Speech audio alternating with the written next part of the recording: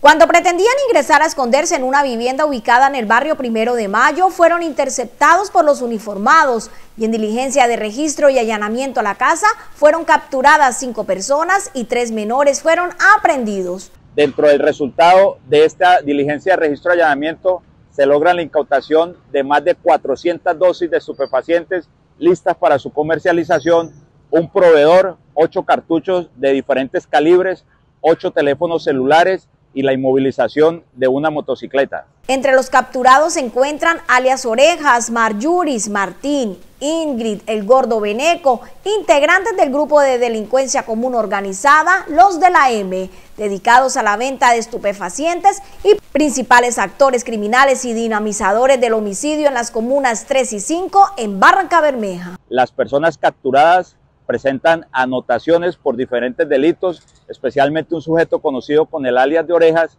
quien tiene anotaciones judiciales por el delito de fábrica, fabricación, tráfico y porte de armas de fuego y municiones y tráfico y fabricación de porte de estupefacientes. Un sujeto conocido con el alias de Martín presenta anotaciones por hurto calificado y agravado. Y las personas, después de colocadas a disposición de autoridad competente, las cinco personas fueron le dieron medida de aseguramiento en centro